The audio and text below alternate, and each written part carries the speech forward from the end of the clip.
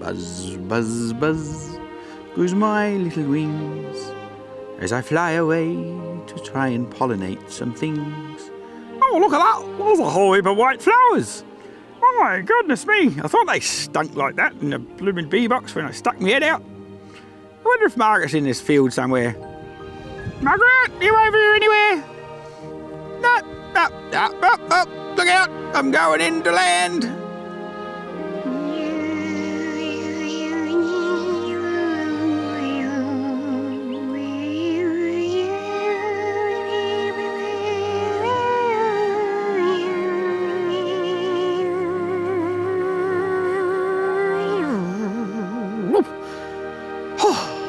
I wonder if the Queen will be happy if I roll back into town with some almond pollen on my legs.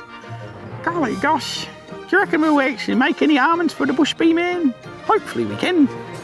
Let's have a little bit of a look what's going on over here.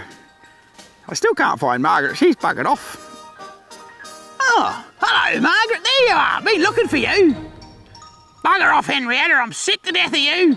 All you do is come around looking for me, can't you just get on with your work? Oh, don't be like that, Margaret. Like your company. You don't always have to be such an old grump, you know. Golly gosh. Well, I don't know. We're out here working hard, getting the nectar and getting the pollen, trying to make some almonds. Yeah, work, work, work. That's all we ever do. My God, I'm not sure about this. I think I've got overloaded. Well, I guess I could just stuff a little bit more in that pollen sack on my left leg.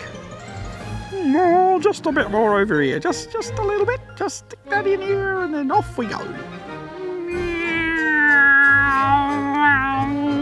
I'm heading home. Heading home, I am.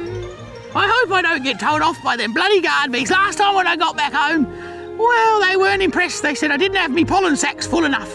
So hopefully this time I look the part. I'm gonna get in there and I'm gonna say it's all good. Here we come in for landing. Oh, damn it, this is the complicated part. Rubber.